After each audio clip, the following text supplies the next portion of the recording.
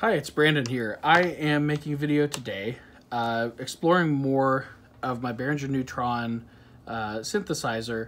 Uh, specifically, I wanted to learn a little bit more about the patch bay. So, you know, some uh, reminder of my background is that I'm a saxophonist. Uh, I don't really have any kind of background making electronic music of any kind. You know, uh, I never played guitar or anything like that. I didn't really get into computer generated music.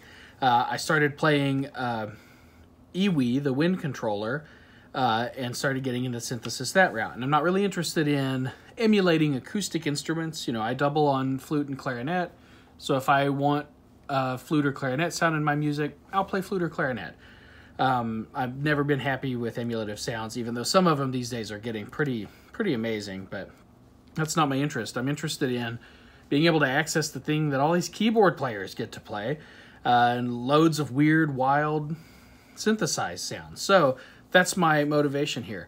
Uh, so um, my goal here is that I'm looking over things and I realize, in addition to the two what we would think of as main oscillators on this synthesizer, there's also the LFO, which gets way up into audio rate, uh, and the filter itself is resonant, uh, which means we can tune it and play it. Now, I'm not going to demonstrate playing these filters today, but I'm going to get a patch going that gets four, all four uh, oscillators or sound pitch sources going, uh, tunable, and in a way you can mix them.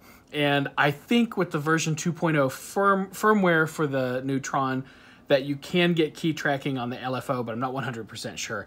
But the point's moot because I don't have a controller handy right at this moment.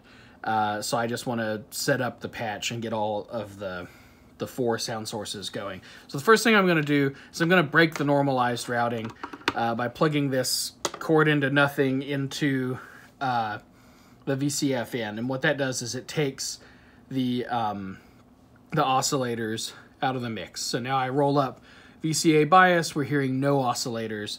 Uh, that's because they the normal routing, the oscillator mix goes into the VCF in, which then goes into the um, the, the VCF out goes into VCA in, and that's how we get sound. But I don't want to do that because I don't want the oscillators running through the filter. Um, okay, so the first thing I want to do is I want to get control and uh, uh, the ability to hear the filter and the LFO. So control, I'm going to run them each through a resonator. So I'm going to send VC, or not resonator, an attenuator, excuse me, and I'm going to run VCF1 output into attenuator 1 in, and then I'm going to run um, the LFO output into attenuator 2 in, and so now I can control the levels of those with these two knobs. So just so we can hear it, here is attenuator 1, which is the resonant filter, going into the VCA. Now, we can't hear anything yet. That's because it's not yet resonant. There we go. And now it's tunable here. All right. And now if I instead did attenuator 2 into the VCA, we can hear that. We can change the shape.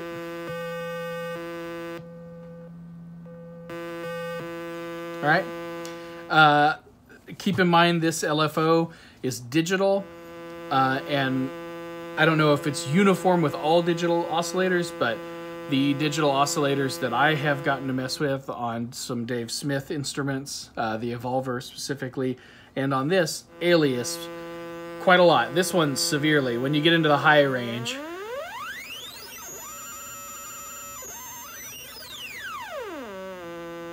so you get some digital artifacts uh, extremely uh, when you get into the high range of the oscillator. Um, so anyway, uh, let me undo that. Whoops, there's our filter. I'm going to turn the VCA bias back down uh, until we get things leveled back in.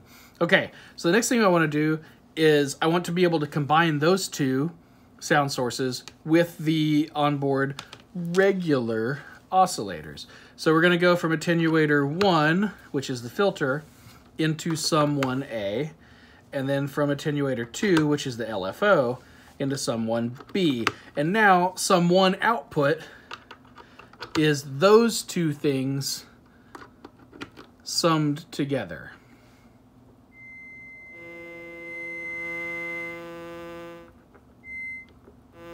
Right? Okay, so then the next thing I want to do is get those mixed into the regular oscillators. So I'm going to, first, I'm going to send, get rid of that VCI, VCA bias again. All right, so we're going to go out of sum 1 into sum 2. So sum 1 output, which is the sum of the LFO and the resonant filter, into sum 2A. And then we're going to take the oscillator mix and go into sum 2B. And so now coming out of sum 2 will be the oscillator mix and the other two things. So turn the VCA bias up. We're hearing one oscillator, this one, right? And then I can turn that oscillator, I can blend in oscillator 2. And now I can bring in the resonant filter. And now I can bring in the LFO.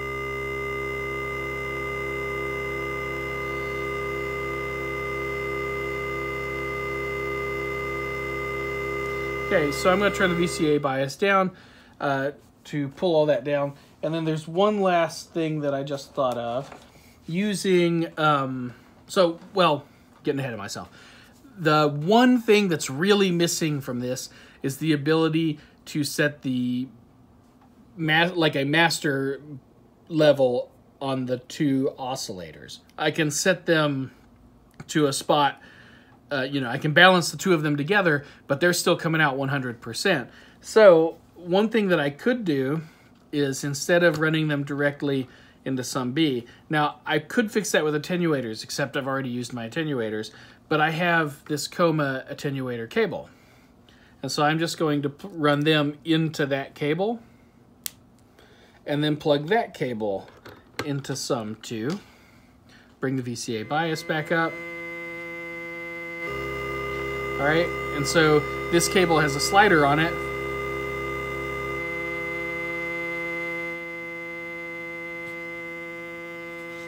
Yeah, I'm just gonna pull both these out for now. The slider is not really good for fine control, at least not with my fingers, but it is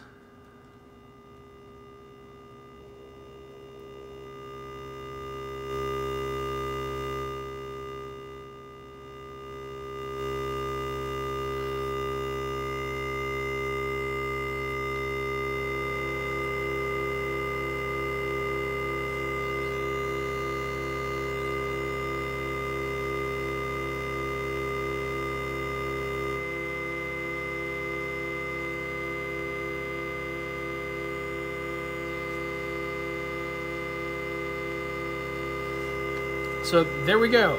Um, you know, it's not the most musical thing at the moment. It's just a big four note chord uh, rolling out here into space. But like I said, I know that we can we can control this via MIDI. We can control the oscillators via MIDI, MIDI of course. I know that the filter can be controlled via MIDI by turning on key tracking. And I think in version 2.0 of the firmware, you can also uh, activate key tracking for the LFO. I'll have to figure that out later and then see if we can make some like Michael Brecker style chord leads where we tune up a funky chord and then uh, use that whole chord as kind of a lead voice and get that big parallel, you know, no voice leading movement uh, of all those chords and it, uh, it's a cool sound. Anyway, so we have, oh, um, one last thing. Uh, another thing that's missing here is the ability to filter the overall sound. Uh, right now, as this stands, I can't control this with a wind controller because I I'm using the filter as a pitch source, as a sound source, instead of as a uh, um, instead of as a filter. So what I could do is I could run the output of this synth into say the external audio input on one of my Dave Smith evolvers, and I can control these two things together, and I could control the filter on the evolver with uh, my controller and I could send note data here with my controller, and then I would still have a uh, breath controlled four note synthesizer. Um, so there's some limitations. Of course, anytime you're working with hardware, um, well, really anything, but especially with hardware, there are limitations, right? We only have two built-in oscillators, right? And this oscillator that I'm using, the resonant filter, it only has one wave shape, right? I can't get a saw wave out of that. Or if I'm wrong and you know how to get a saw wave out of a resonant filter, hit me up and let me know. I'd, I'd be really curious. But I think all you can get out of it is a sine wave. Um, and then, uh, you know, another limitation on this synth, that LFO uh, aliases wildly when you get up into the high register. Um, you know, but those things aren't a bad thing. They're just limitations, and you have to learn how to work around it. Like this synth only has one filter, so uh, well, it has two filters, but you have to control them both at the same time, right?